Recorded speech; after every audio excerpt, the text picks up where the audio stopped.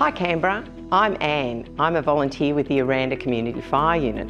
Today I'm going to discuss some of the ways that you can be emergency ready by completing a survival plan. The survival plan is a template designed by the ACT Emergency Services Agency to help you and your family to record what you will do in an emergency. It could save your lives. There are just four simple steps. Discuss, prepare, know and keep. Start by discussing what you will do in an emergency. Think about when you will stay and when you might leave.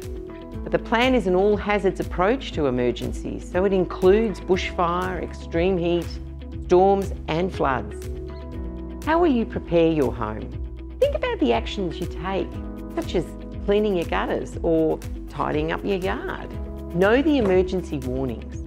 Learn about emergency warnings and alerts that might be issued by the ACT Emergency Services Agency or other organisations. Keep informed. The single point of truth for emergency information is the ACT Emergency Services Agency.